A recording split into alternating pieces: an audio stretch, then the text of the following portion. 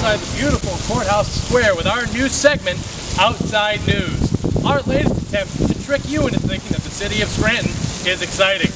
Today's top news story has voted into this position by the fans of Scranton. The number one SoundCloud rapper of 2019 is Spoon God.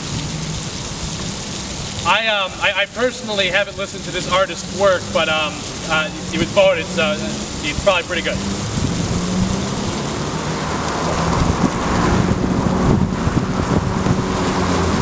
Um, this just in, it would appear as though Prague, the capital of Czechoslovakia, is currently under attack. Sources say that there is a vicious militia heading for Center City, and that they call themselves the, the, the Black Hills Corporation, which, which I honestly thought was a power plant based out of South Dakota, but, but nonetheless, they are led by Damien Saban.